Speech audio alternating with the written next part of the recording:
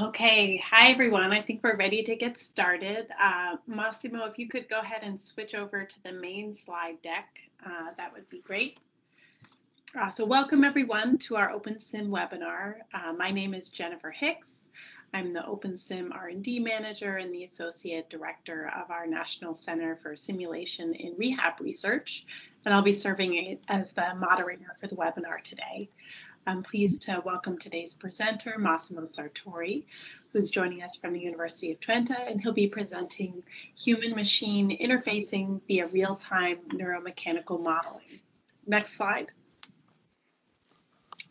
Uh, so OpenSIM is a freely available software application for visualizing musculoskeletal structures and simulating the movements of humans and animals. And the first goal of our webinar series is sh to showcase the cutting edge research that's being performed with the OpenSIM software.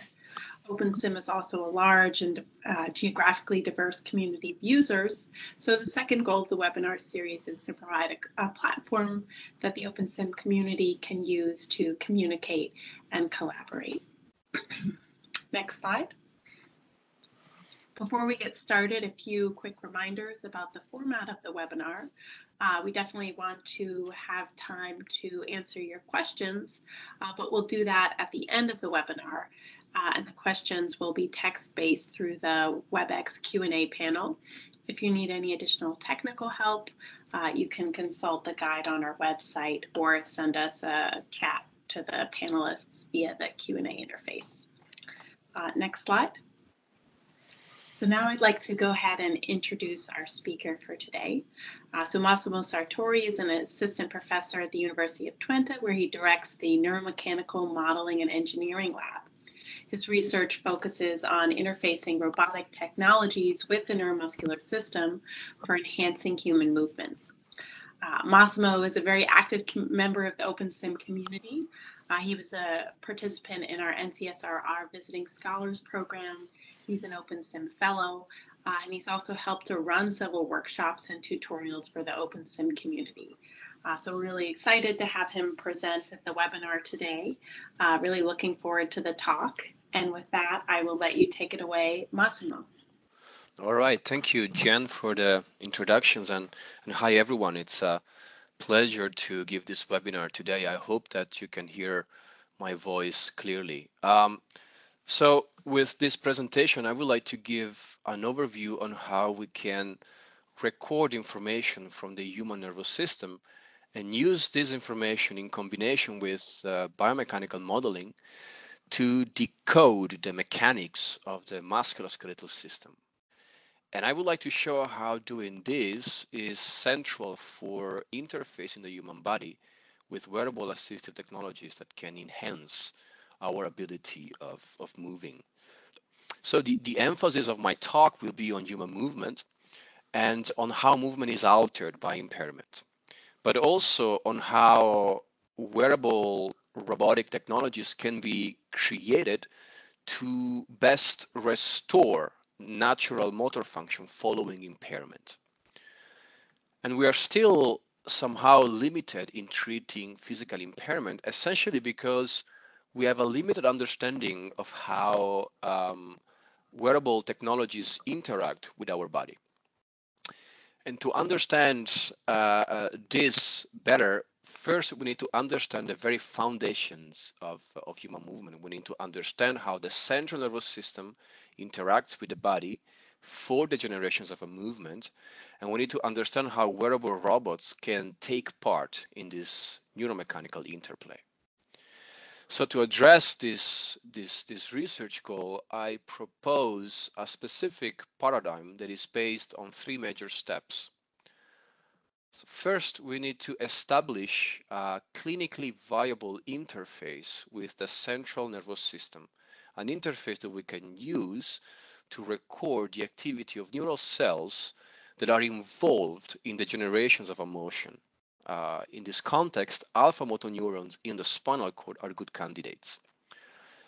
Then we need to build mechanistic models of the human body that we can use to um, estimate how the human body operates as controlled by the nervous system.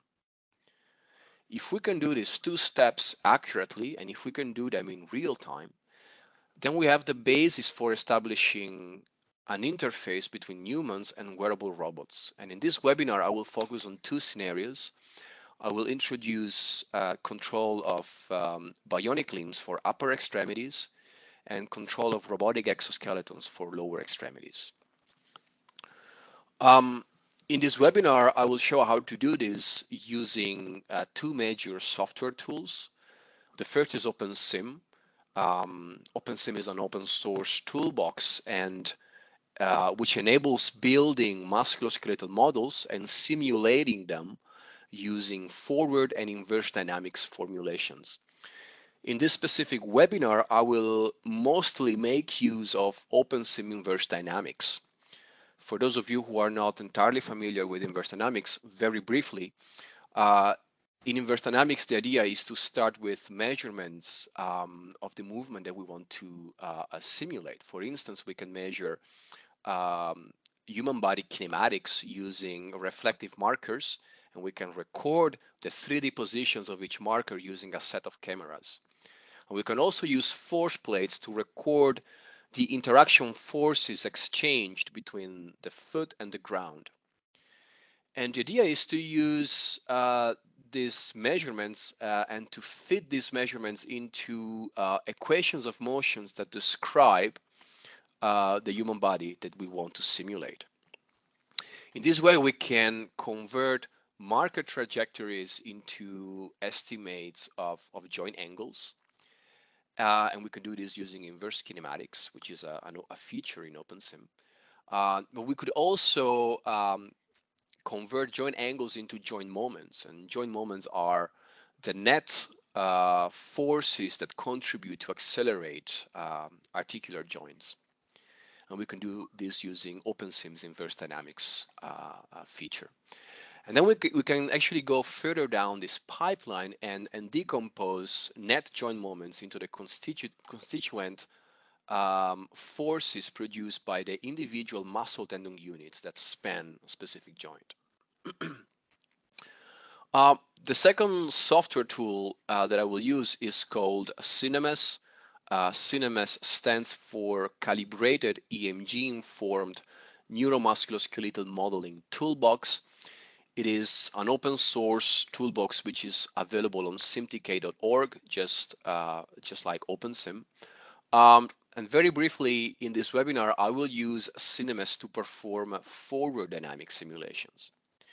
So the idea is to start from measurements of muscle excitations, uh, typically derived from EMG signals, uh, but also we need measurements of muscle tendon kinematics, and we, we get this information from directly from OpenSim. And CEINMS uses these two types of input to uh, simulate all the transformations that take place from the onset of muscle excitation to the productions of mechanical force in muscles and, and joints. well, CEINMS has been developed um, over the past 15 years by a number of people um, and with this slide, I would like to acknowledge all of them. All right, so we can now go back to the general outline of this webinar. Um, and I'd like to go through each of these three major steps and briefly outline how we are implementing them right now. Um, so starting with the first point, we know that um, a clinically viable way to interface with the nervous system uh, can be done using electromyography. Uh, during the generations of a movement, uh, synaptic inputs are produced in different areas of the nervous system. And these inputs ultimately converge into the spinal cord, specifically into pools of alpha motor neurons. So alpha motor neurons are neural cells located in the spinal cord and these neurons, they essentially branch out of the spine and innervates into muscle fibers in the periphery. So because of this strong synaptic connection between neurons and muscles, there's a one-to-one -one relationship between electrical potentials produced in the neuron and electrical potentials produced in the muscles. So all the time a motor neuron fire, there's a resulting action potential in the muscle fiber that makes the muscle twitching. So this means that the bioelectrical information that we record from the muscle, the EMG signals, theoretically contains informations about the time events at which during which multiple motor neurons fires. Um, and it is actually possible to extract such information from the EMG using advanced um, electrodes and signal processing techniques. And I would like to give a, brief introduction to that. So the idea is to use uh, electronic schemes, which are uh, grids of, of highly densely located electrodes that you can place on top of a specific muscle. So in this way, you can record the electrical activity produced by hundreds of muscle fibers simultaneously. Um, the idea then is to use is to actually apply blind source separation to decompose this interferent EMG signal into the contributions of the alpha motor neurons that are active in the control of that specific muscle. So this is a powerful technique because it enables you to record non-invasively from the periphery of the system, but open a window into uh, neural activity um, in the spinal cord. So this enables you to establish a neural interface. Um, I'd like to spend a few words on how this blind source separation technique works. Uh, the idea is to frame it as the cocktail party problem. Uh, you know, we have a uh, we have a number of people speaking simultaneously in a room, and we have a number of microphones, and every microphone picks up a superpositions of people's voices. Um, the idea is to use the information recorded from multiple microphones to separate uh, the voice, the soundtrack of each individual person. So you can see that the analogy with our application is very strong. In our case, each person represents the source of the information. So in this case, alpha motor neurons. And the microphones reflect the electrode that we use to sense such information. Um, so the the idea of separating uh, interferent informations into individual sources is based on the ability of building mathematical models that describe how the EMG signal is, is generated. So we want to build mathematical model that describe how the interferent EMG signals is produced by the firings of motor neurons. And the idea is to invert this model. To do this, we have to make a few assumptions. The first assumption is that the number of uh, um, sensors that we use is greater than, than the number of sources that we want to, to decompose. So we want to have more electrodes than motor units. This assumption is important because we can then model the system as an over-determined system that we can invert using least square methods. We can then apply additional assumptions. For example, we know that um, alpha motor neurons fire with relatively low frequencies. So the distributions of firings will be non-Gaussians and will be sparse in nature. Um, uh, and this uh, gives you additional ability of, uh, of, uh, of uh, kind of solving the least square optimization. So I will not go into the details of this technique, but if you want to know more, you can check out these two recent publications at the bottom. And you can also take a look at this website that provides insight on how blind source separation can be applied, not only in the context of EMG, but also in other applications. The important point though is that EMG signals contain informations about the discharges of alpha motor neurons, and therefore muscles are good candidates for establishing a clinically viable interface with the nervous system. Um, our first tests in this direction involved recording high-density electromyography uh, from, from the calf muscles uh, from a number of healthy subjects performing isometric plantar dorsiflexions. That's what the high density EMG looks like for one muscle for the tibialis anterior. So you can see that for every muscle, we have 64 readings of um, EMG activity. Um, and the idea essentially is to apply the blind source separation technique that I outlined previously and to extract information about motor neuron discharges. So what you get out of this essentially is binary information. So in this in this diagram, every row represents the spike train of a specific alpha motor neuron. So the spike train contains binary information. So within within within a spike train, every vertical line tells you whether that neuron is firing at that specific instant of time. So you can actually do this for all the muscles spanning the ankle. In this way, you can extract spike trains for populations of hundreds of alpha motor neurons. So you can really open a window into spinal mechanisms. And then if you want, you can combine this information with uh, anatomical uh, properties of the spine and you can map uh, individual alpha motor neuron spike trains into lumbar and sacral uh, segmental levels in the spine. And this gives us the possibility to to visualize how different spine segments engage in the control of the ankle joint. In the second part of the webinar, I will show you how we can link these discrete spike trains with OpenSIM models for linking uh, what happens at the spinal cord with uh, the resulting function at the musculoskeletal level.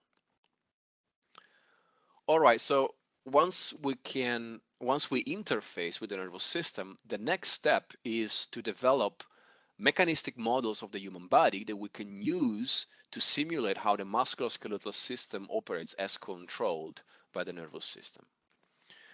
Um, the simplest possible way of doing this is to use conventional bipolar EMG signals to drive large scale models of the human body.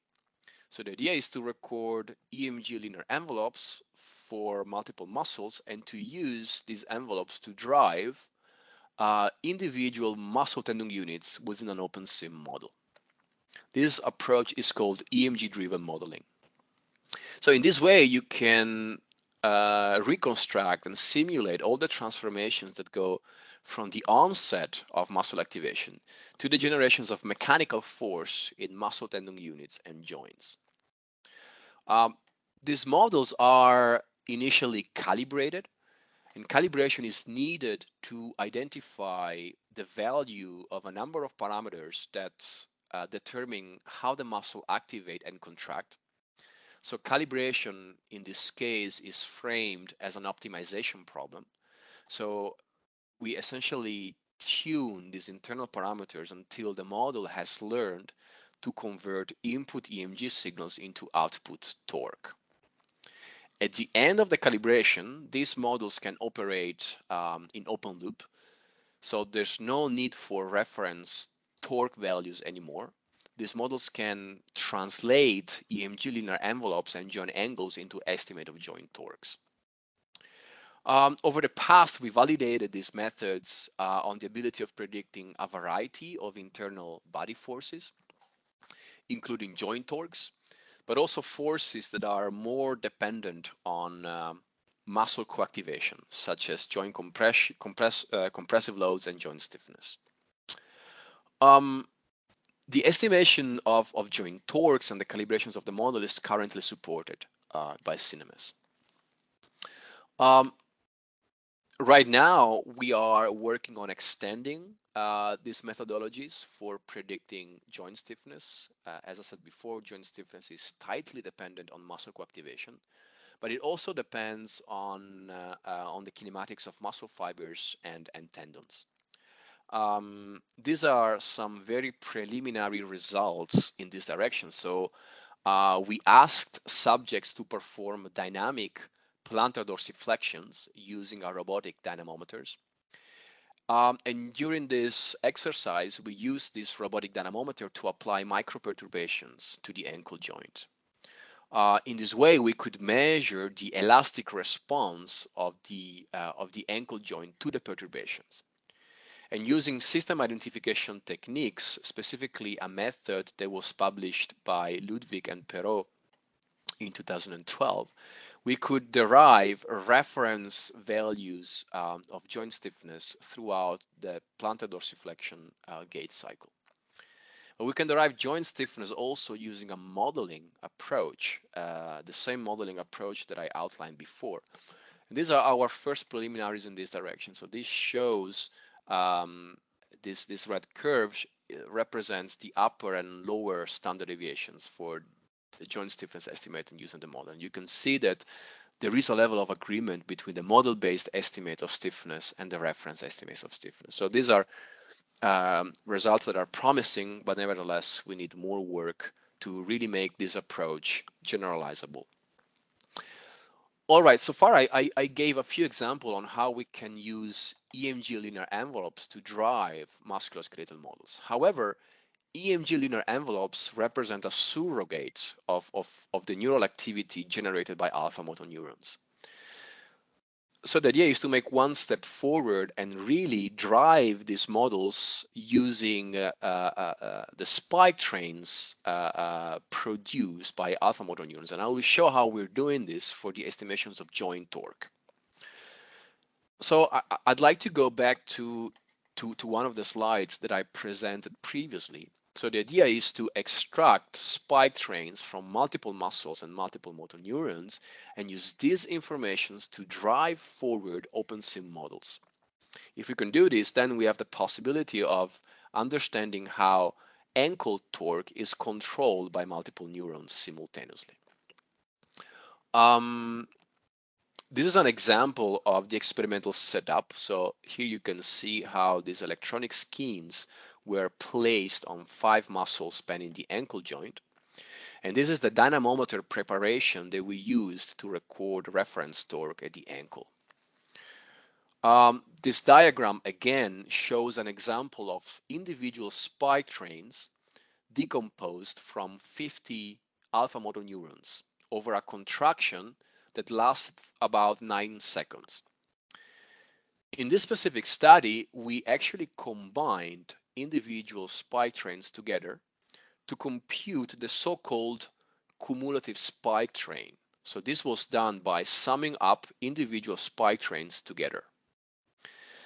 So the cumulative spike trains essentially represents the net firings of all the alpha motor neurons involved in the control of a specific muscle.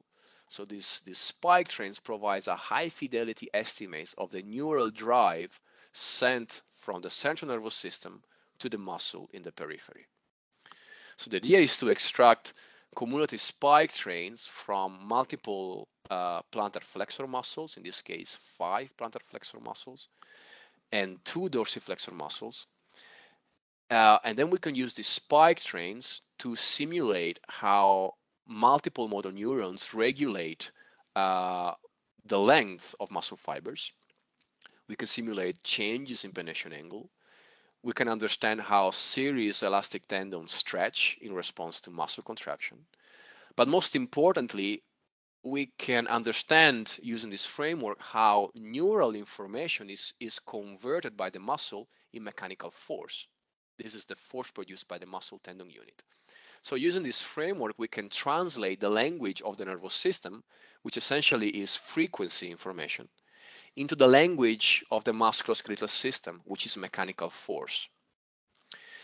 Uh, we can then use geometrical informations about how muscles wrap around joints to convert uh, muscle tendon specific force into muscle tendon specific moments. And then we can add muscle tendon moments together to compute the net torque at the ankle joint. And you can see that the torque estimates derived from spike trains match pretty well uh, the reference torque measured using the, the dynamometer.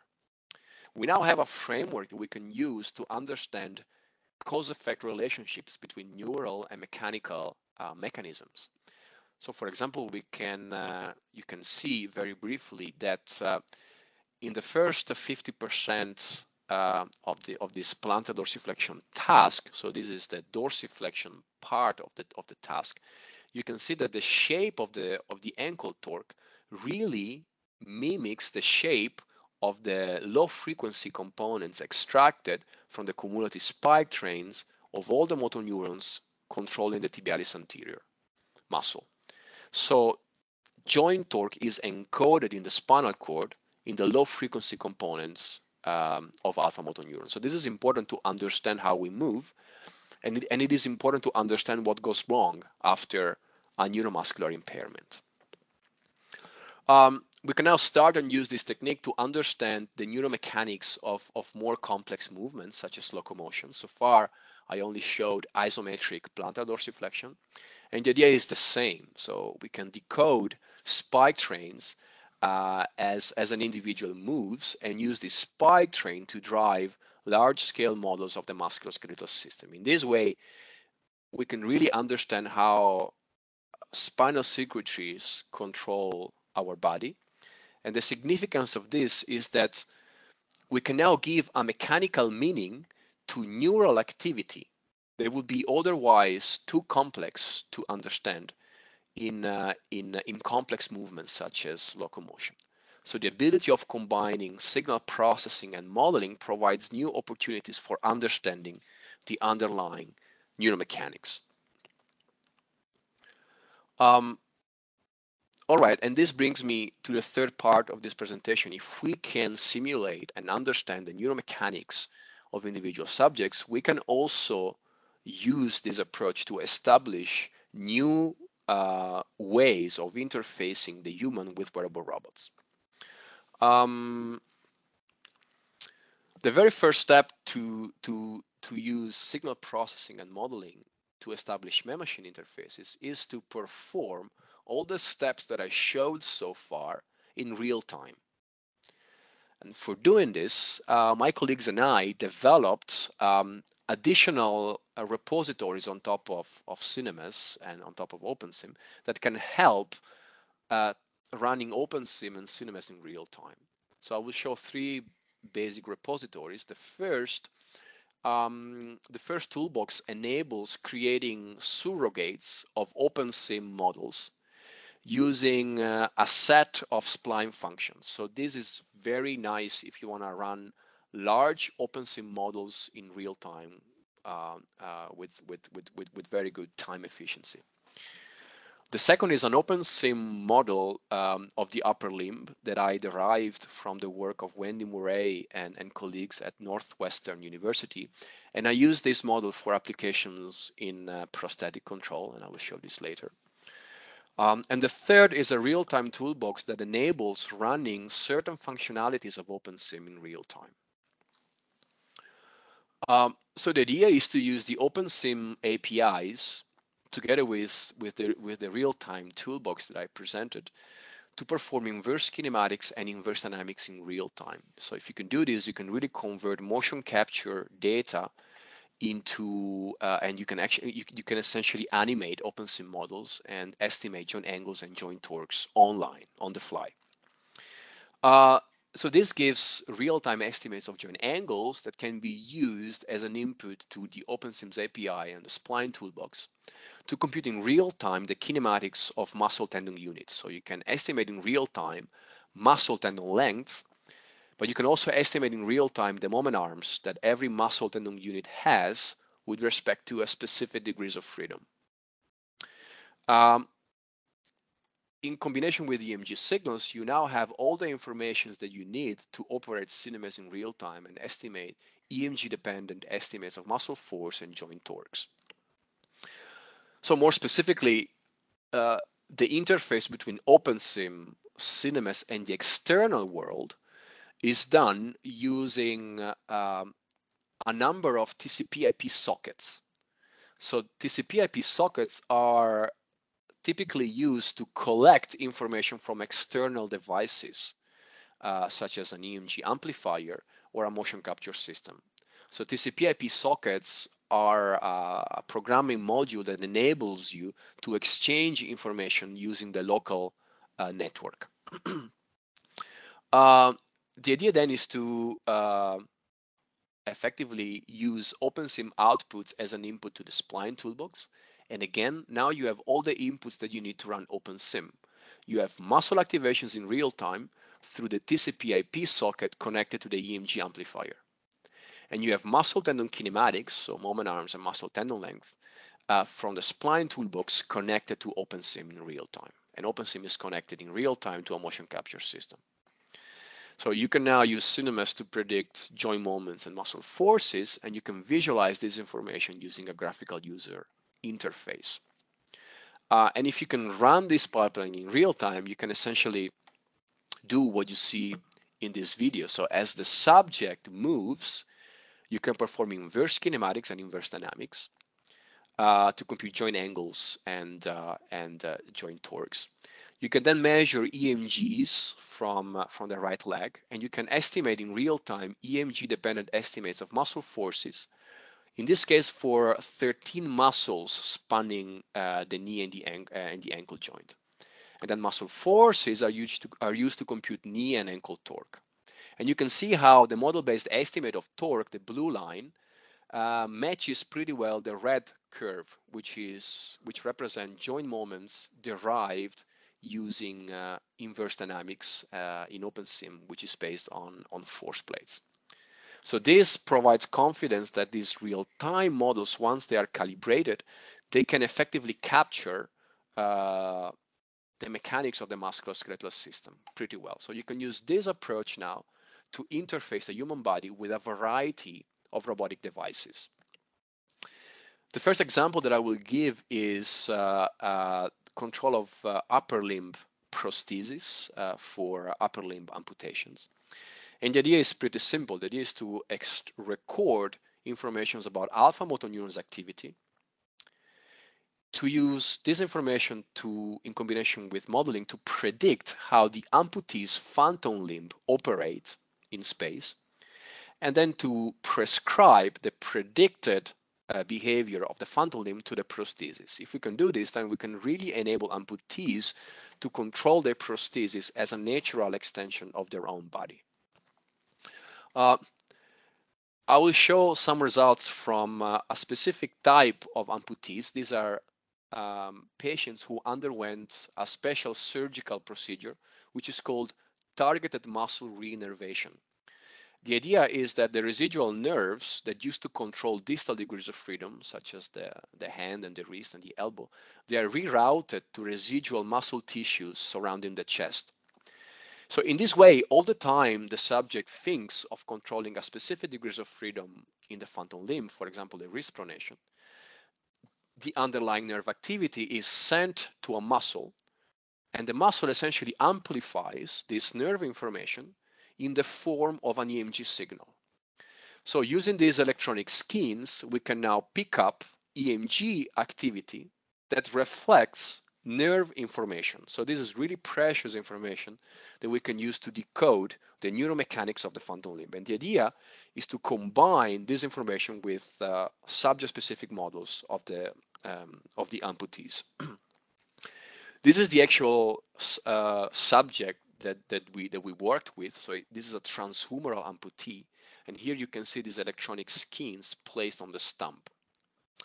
Um, because this is a TMR subject, we could map the areas in the stump that are associated to the control of a specific degrees of freedom. So we could map where the areas connected to elbow flexion was, we could map where elbow extension was, we could map wrist pronation, wrist supination, as well as radial, ulnar deviation, as well as hand opening and closing. Um, we then built uh, a subject-specific model using OpenSim, uh, which included the intact limb, the residual limb, and the phantom limb. We then collected high density EMG from the stump and we decomposed it to recover uh, the spike trains produced by uh, the alpha motor neurons that were active in the control of the phantom limb. And we then use these uh, discrete spike trains to drive forward uh, 12 uh, virtual muscles that are important for, for, for the actuations of the elbow and the wrist. So these are the uh, the time profiles of uh, of the muscle force produced by 12 uh, muscles spanning the elbow and the wrist.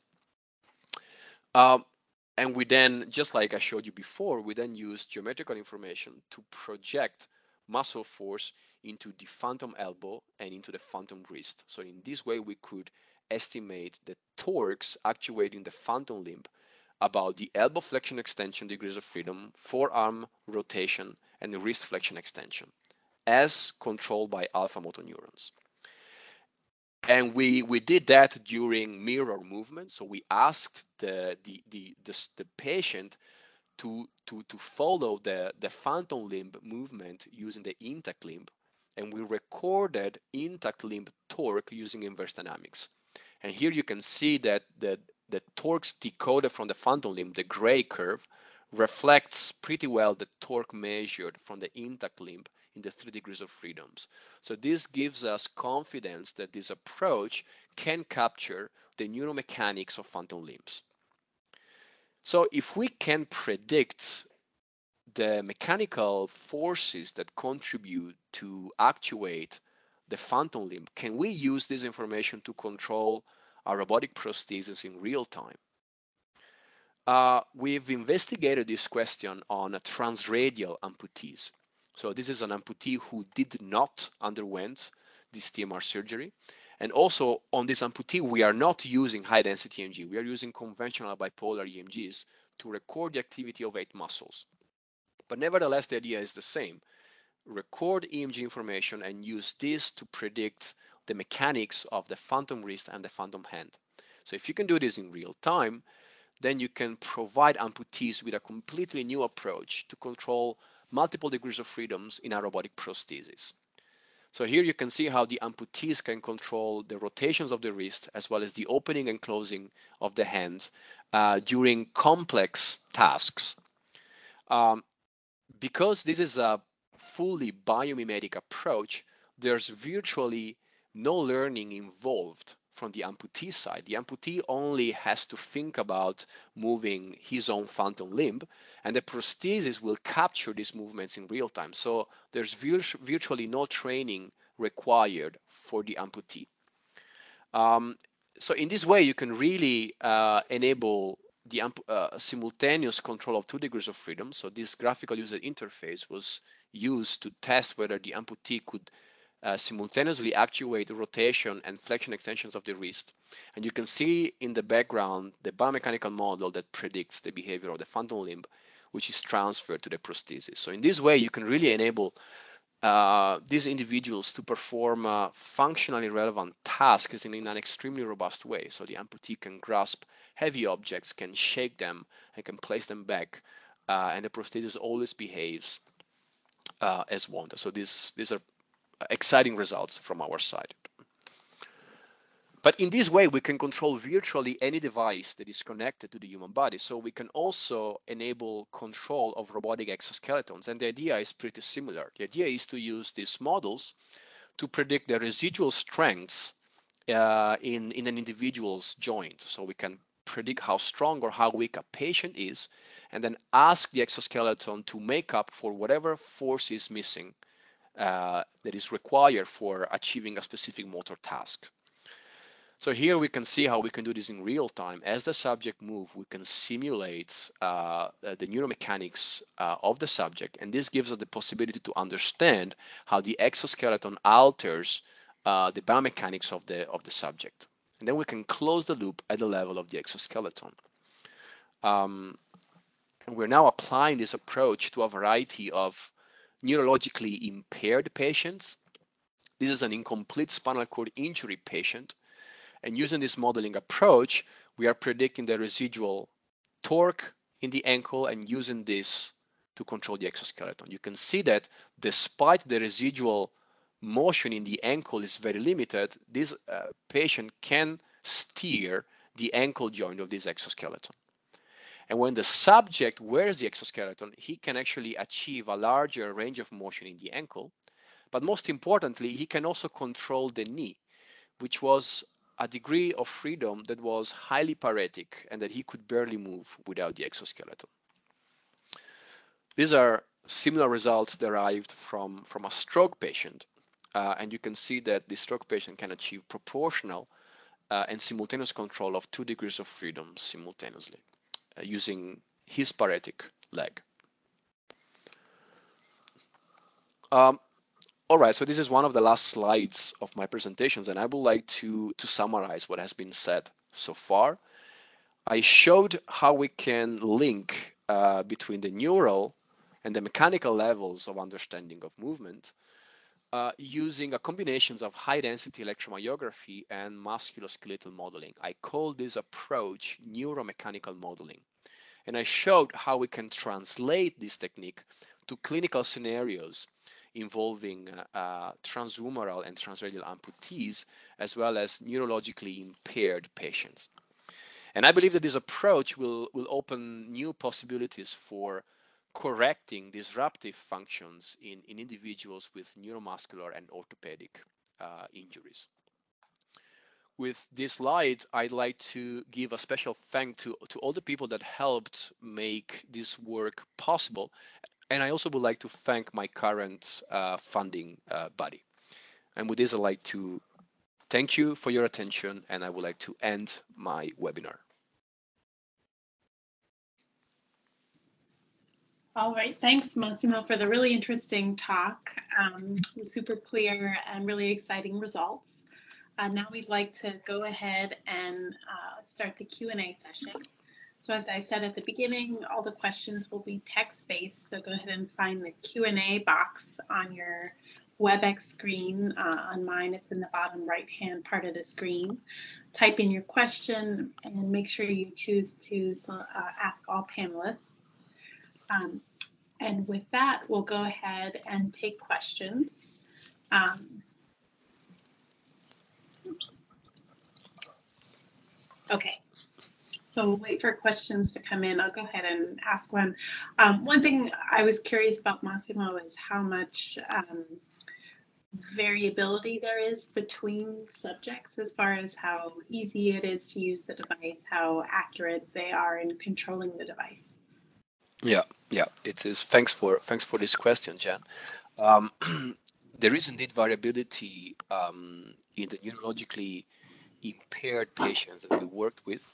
Uh, we worked with two stroke patients and with uh, one spinal cord injury patient. And for these three patients, the the the ability of calibrating the model was was crucial, uh, and that's because the force generating capacity of these patients' muscles uh, largely varied across across patients. Uh, and also every su- every subject has different uh, inherent ability of steering the exoskeleton. So um, we're hoping that uh, the calibration pipeline that we set up uh, could be translated to a larger set of patients in the future. So we are we are actually planning more tests on a larger number of patients. Um, but because this is a model-based approach, um, it could be that in the future, maybe uh, the ability of using imaging techniques, something like portable ultrasound, for example, will provide even more possibilities for personalizing the underlying models to the individual subjects. In the context of amputees, so far we only had tests on um, so real-time tests on uh, on one uh, patient only. So we cannot say much on how the real-time uh, method can can be translated to different patients. However, we use the approach offline on um, on a variety of patients, and we could we could achieve comparable uh, performances in the estimations of uh, phantom limb torques. Okay, thanks, Massimo. Another uh, somewhat related question is how much, um, uh, so I think you do the CEINMS parameter tuning to an individual subject. Is how um, how subject specific and does them do the models need to be for the control to be successful? Yeah, yeah. Thanks. That's that's another good another good question.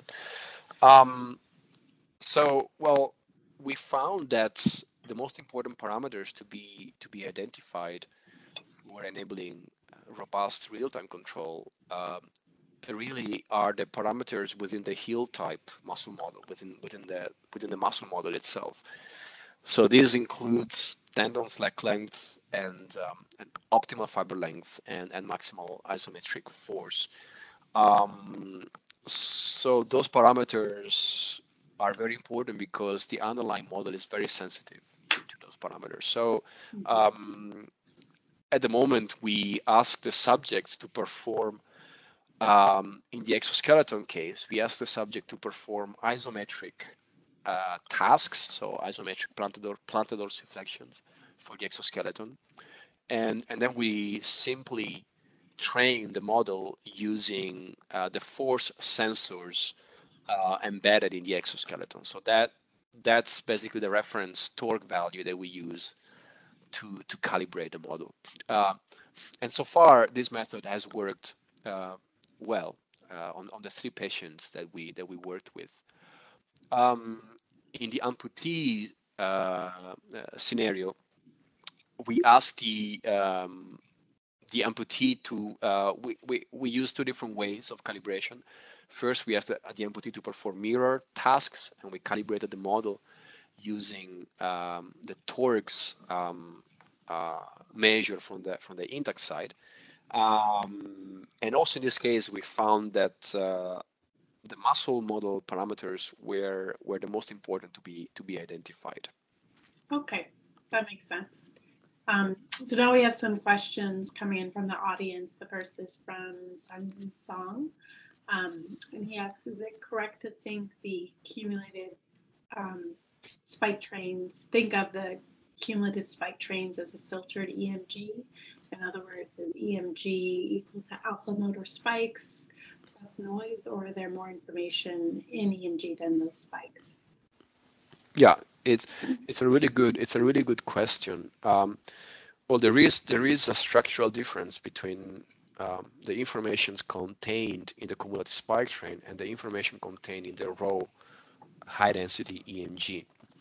Um, the, the, the, problem with the raw high density EMG is that um, in the end you want to extract an information that is proportional to, to the activations of the muscle. So what you what you do is you low pass filter the raw EMG and then you create a signal whose amplitude is proportional to the activation. The problem is that the amplitude itself in the raw EMG signal does not purely reflect muscle activation.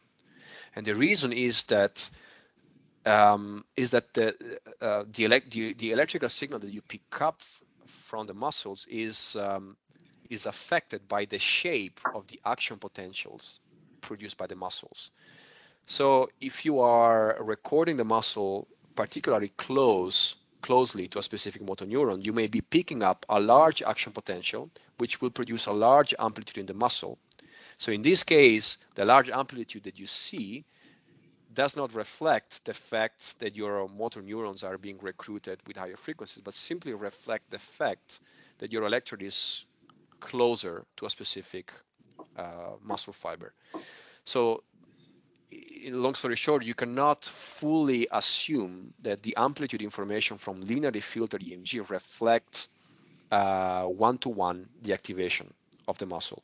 Mm-hmm. Whereas if you are able to decompose the EMG signal into into spike trains, then you can extract an activation profile that is purely function of the frequency of the firing frequency of alpha motor neurons. So you are now you now have a signal that is much more related to the real effective muscle activation generated by the nervous system. I hope I don't know if this is clear. Yeah, thank you. That that makes sense. Um, now we have a question from Vishal Ranveen Jonathan. Um, great presentation. Thank you. I'm interested to know how the quality in terms of accuracy of bipolar EMG and high density EMG affects the torque outputs. Yeah, yeah, that's that's that's also that's a good question. Uh, so um, we had some we, we did some tests in this in this direction and and we found that um, high density EMG in combination with decomposition has, when combined with models, provides benefit in a variety of scenarios. Uh, a more applicative scenario is that of amputees. Um, if you want to estimate joint torques about many degrees of freedoms, for example, three degrees of freedom in the wrist, uh, using the global EMG, you may be dealing with a lot of crosstalk. That's because the muscles controlling the wrist are very closely uh, located with one another.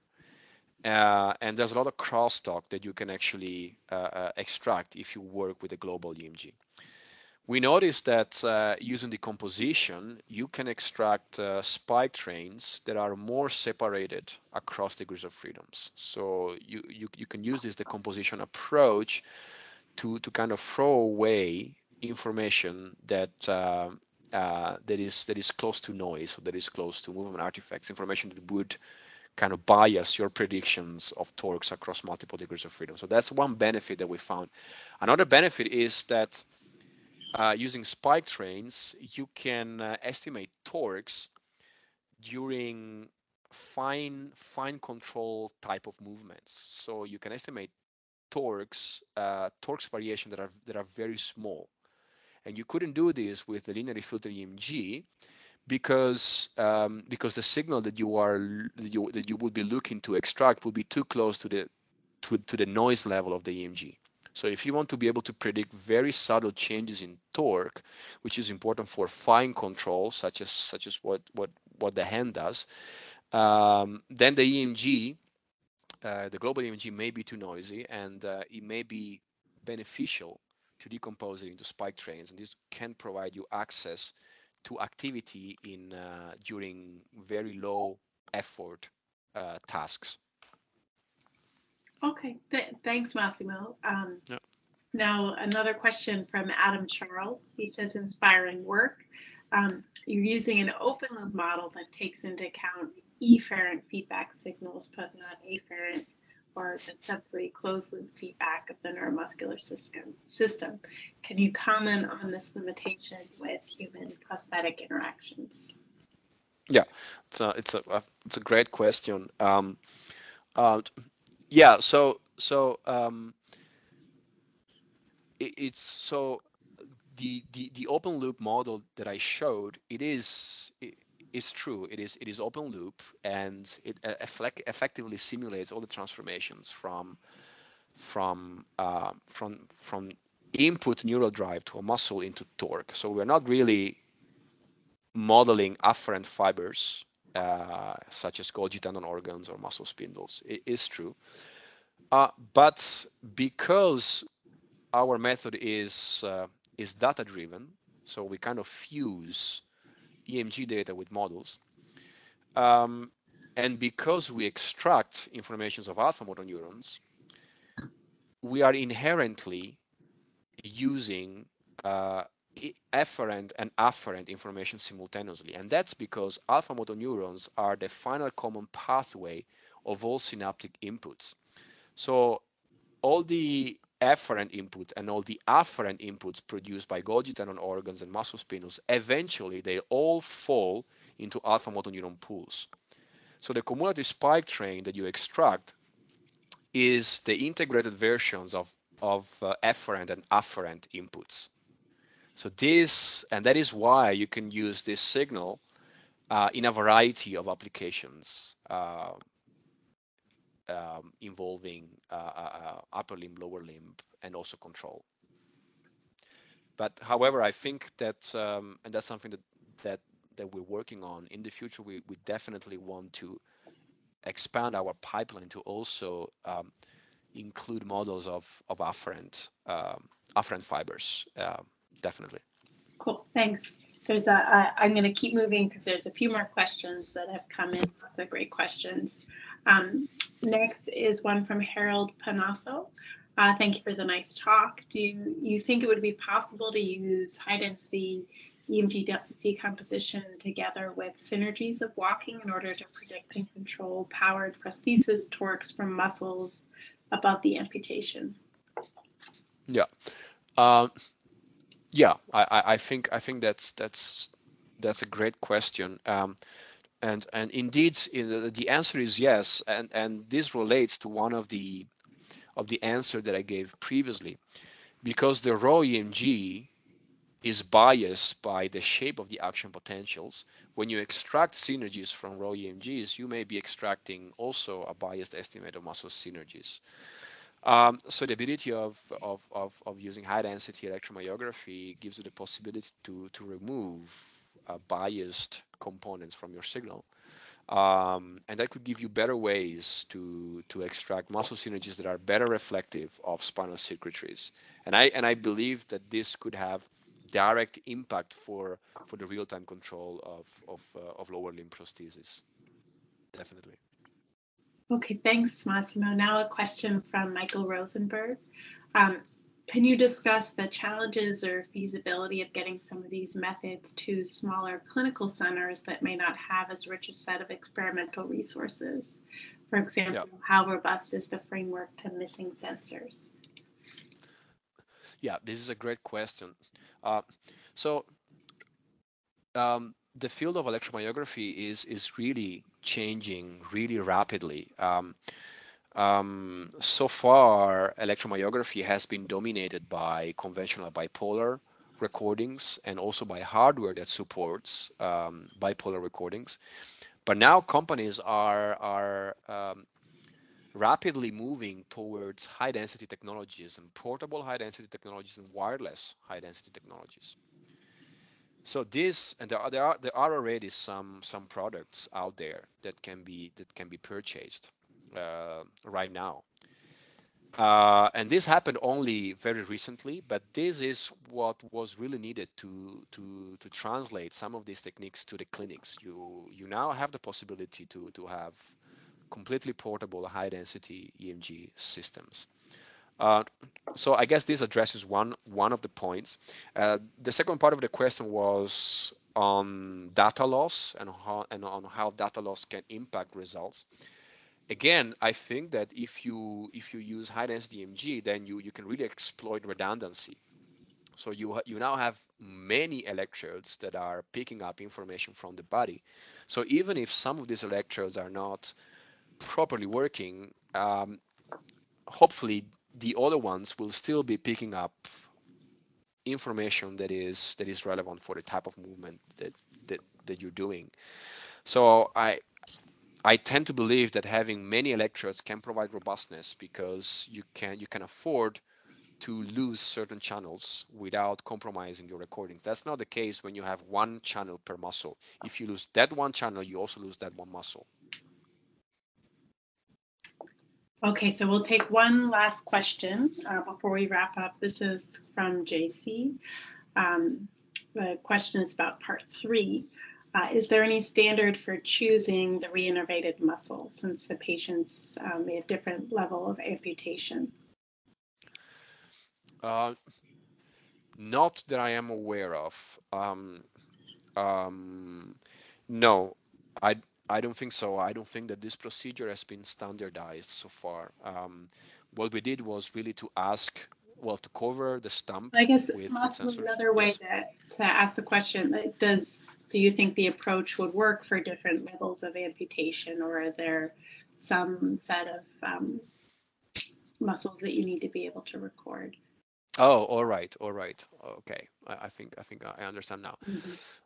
Um, all right. Yes, I think I think that uh, it, it, it, kind of depends on how the surgery is performed. Normally, in in trans in, trans, in transhumeral amputees uh, and in and in uh, shoulder level amputees, you want to have at least five reinnervations areas so that you could essentially steer up to five degrees of freedoms. Um, the surgical procedure itself is quite standardized, and and I think that it is possible to achieve four to five innervation areas uh, per stump um, and this makes essentially the approach quite applicable to different scenarios. Okay, thank, thanks, Massimo. Um, it's just about 11 o'clock, so we'll go ahead and wrap up here. There were a couple questions that we didn't get to, um, but we'll send those to you, Massimo, and um, could maybe answer those in the follow-up email. Yeah, sure. Um, sure. So if you could, Massimo, advance, advance through the last couple slides. So thank you everyone for the really great questions and discussion. Um, OpenSim and this webinar series are supported by several grants that I want to acknowledge from the NIH, including an NIH grant that funds our National Center for Simulation and Rehab Research. Next slide. Thank you again for the great discussion. You can find more information about the center, upcoming events, and other resources for the OpenSim community um, at our website. Uh, please also complete the survey that will appear in a pop-up window in the conclusion of the webinar. Um, we'll also send out a follow-up email that has web links, um, the Q&A, um, links to the software that Massimo mentioned in papers, so you can look out for that in your email. And uh, I think, is that the last slide, Massimo? Uh, yeah, that's the last slide, so, yeah. Thank you, Massimo, again for a really great and stimulating presentation. Thank you to My pleasure. for the great questions. Um, thank you for participating in the webinar, and we hope you all continue to stay involved with OpenSim. Thanks, everyone.